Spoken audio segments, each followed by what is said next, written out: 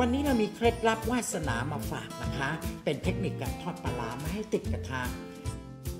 ขั้นตอนง่ายๆ เริ่มจากนำปลาตาวาสนาไปคลุกกับแป้งทอดกรอบให้ทั่วทั้งชิ้น แล้วก็นำไปทอดในน้ำมันพืชจนกระทั่งมันสุกเหลืองกรอบ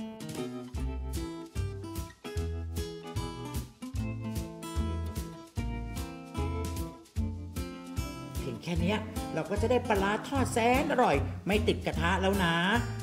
แล้ววันนี้อาจารย์ยังมีสูตรปลาส่งเครื่องที่แสนอร่อย แล้วก็ทำง่ายมาฝากอีกนะ เพียงแค่โรยหอมแดงพริกขี้หนู แล้วก็บีบมะนาวราดลงไปบนปลาที่เราทอดไว้ แค่นี้ก็จะได้ปลาส่งเครื่องยำที่แสนอร่อยแล้วแหละ